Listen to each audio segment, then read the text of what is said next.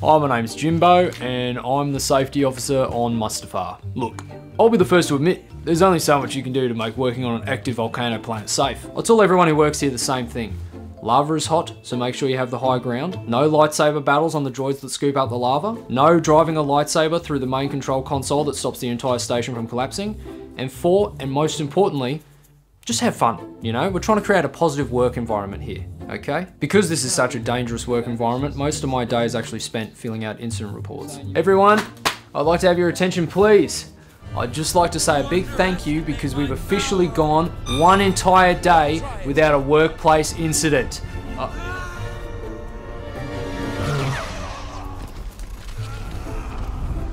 like that's zero.